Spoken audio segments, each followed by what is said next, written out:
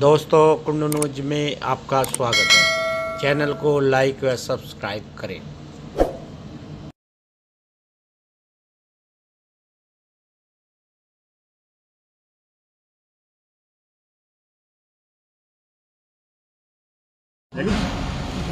जैसा कि आप वार्ड नंबर एक से नगर पालिका मुरादनगर अपनी समस्या को लेकर आए क्या है आपकी पूरी समस्याएँ?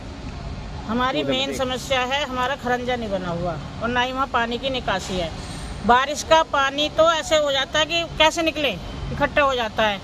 और घरों का पानी जाता है हमारे किसी गड्ढे में उसमें सांप पैदा हो रहे हैं वो सांप घरों में घुस रहे हैं। तो हमारी सब गंदगी अलग। है देखो बीमारी बीमारियाँ इतनी हैं। बच्चे स्कूल कैसे जाएँ? हमारी मेन समस्या यही है कि हमारा खरंजा और नाली बनाई जाए। हमारी कॉलोनी है पिलर नंबर आठ के सामने। तो कृष्ण एनक्लेव आपने अभी तक किसी को बताया या नहीं बताया मामले को लेकर?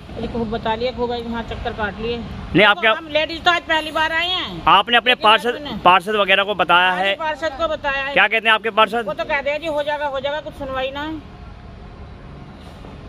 कुछ सुनवाई नहीं है।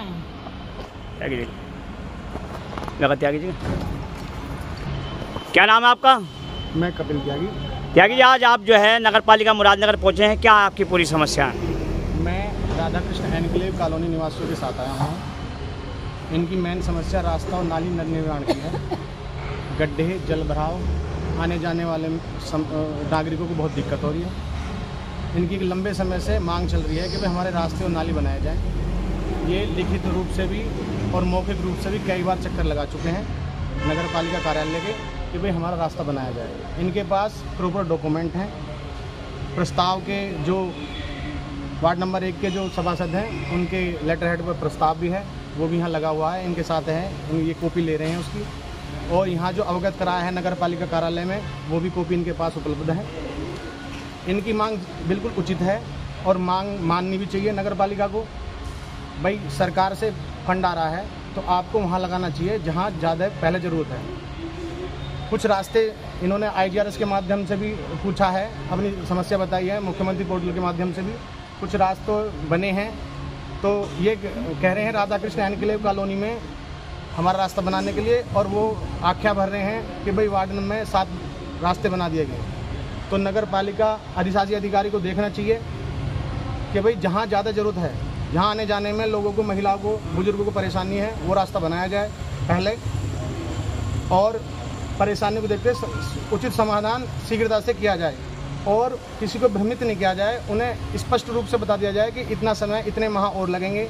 ये बोर्ड बैठक में आपका प्रस्ताव हो गया है कि नहीं हो गया है इन्हें क्लियर कर दिया जाए। वो भी भ्रम की स्थिति बनाए हुई है। तो हम मांग करते हैं इन समस्त कॉलोनी निवासियों की ओर तरफ़ से कि भाई इसका समाधान शीघ्र अतिशीघ्र किया जाए। धन्यवाद। जय हिंद जय भारत। क्या नाम है आपका?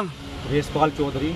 चौधरी साहब, क्या है यहाँ समस्या लेकर नगर पालिका मुरादनगर? सर, समस्या तो यहाँ इतनी है, अब कितनी गिनवाए बाकी हम तो कुछ समस्या पे इस टाइम जो अपना फोकस डाल लेंगे अब यहाँ नगर पालिका वार्ड नंबर एक, शक्ति नगर, जिसमें कॉलोनी है राधा कृष्ण इंक्लेव, जो मुरादनगर, जो चर्च कलो, चर्च है, माउंट कार्मल चर्च, उसके सामने है, पिलर नंबर आठ सौ तिरसठ एन इसके अंदर बहुत सारी प्रॉब्लम है, लेकिन कॉलोनी बहुत छोटी है। ज़्यादा से ज़्यादा इसमें रास्ते ज़्यादा से ज़्यादा 200 मीटर के रास्ते हैं। ठीक है जी?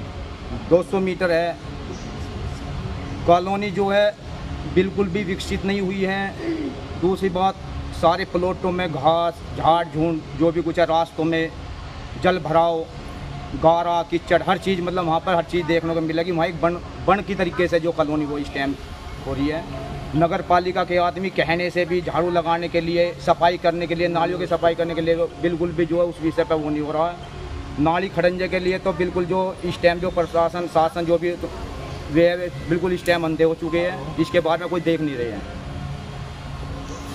लड़ाई में तो क्या क्या है आपका आज नगर पालिका मुरादनगर आने का मकसद? चल नाली खड़ंजे का ही है हमारा और कुछ नहीं है। हमारी नाली सही हो जाए खड़ंजा सही हो जाए हमें और कुछ नहीं चाहिए बस। पानी भर रहा है सारे घर में सांप बढ़ रहे हैं और हमें बहुत ज़्यादा परेशानी हो रही है। आपने वहाँ के पार्षद से कहा नहीं है इस बात को? पार्षद से कहा है। पार्षद क्या कह रहे हैं? वो कुछ नहीं सुन रहे। हैं पार्सन ने अपने लेटर हेड पर लिख कर दे दिया है और उसके बाद उन्होंने कोई सहयोग कॉलोनी निवासियों को नहीं दिया। तो उनसे हमारा ये निवेदन है कि भाई अगर आप लिख के दे रहे हैं तो उनके सहयोग में नगर पालिका भी चलिए जो उनका कर्तव्य है जिसके लिए उन्हें चुना गया है। और आपके माध्यम से मैं निवेदन करता हूँ नगर पालिका अधिकारियों से कि वो इस समस्या का शीघ्र समाधान करें धन्यवाद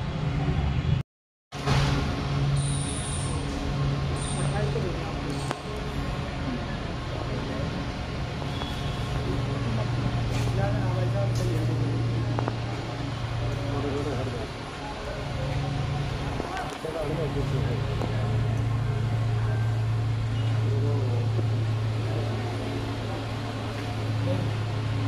用了。